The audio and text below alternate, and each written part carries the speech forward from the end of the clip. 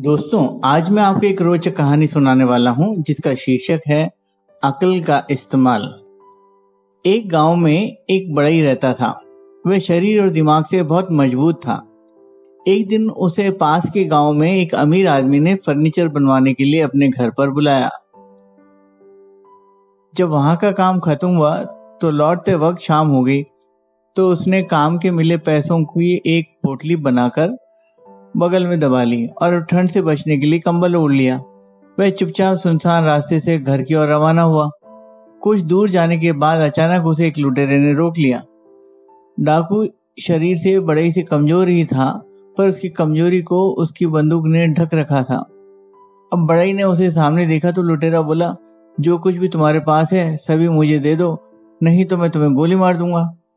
ये सुनकर बड़े ने पोटली उस लुटेरे को थमा दी और बोला, ठीक है, ये रुपए तुम रख लो, मगर मैं घर पहुंचकर अपनी बीवी को क्या कहूँगा? वो तो यही समझेगी कि मैंने पैसे जुए में उड़ा दिए होंगे। तुम एक काम करो, अपनी बंदूक की गोली से मेरी टोपी में एक छेद कर दो, ताकि मेरी बीवी को लूट का यकीन हो जाए।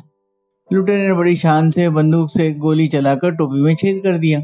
अब लुटेरे जाने लगा तो बड़े बोला, एक काम और कर दो जिससे बीवी को यकीन हो जाए कि लुटेरों के गैंग ने मिलकर मुझे लूटा है, वरना मेरी बीवी मुझे कायर समझेगी।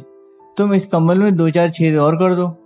लुटेरे ने खुशी खुशी कम्बल में भी कई गोलियाँ चलाकर छेद कर दिया उसके बाद बड़ई ने अपना कोट भी निकाल लिया और बोला, इसमें भी एक दो छेद कर दो ताकि सभी गाँव वालों को यकीन हो जाए कि मैंने बहुत संघर्ष किया था।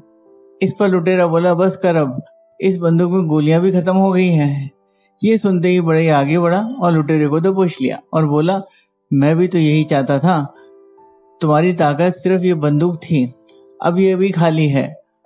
अब तुम्हारा कोई ज़ोर मुझ पर नहीं चल सकता। है चुपचाप मेरी पोटली मुझे वापस दे दे, वरना ये सुनते ही लुटेरे की सिटी पिटी गुम हो गई और उसने तुरंत ही पोटली बड़ई को वापस दे दी और अपनी जान बचाकर वहाँ से भागा। आज बड़ई की ताकत तब काम आई जब उसने अकल को सही ढंग से इस्तेमाल किया। मित्रों, इसीलिए कहते हैं, मुश्किल हालात में अपनी अकल का ज़्यादा इस्तेमाल करना चाहिए। तभी आप मुसीबतों से आसानी से निकल सकते हैं।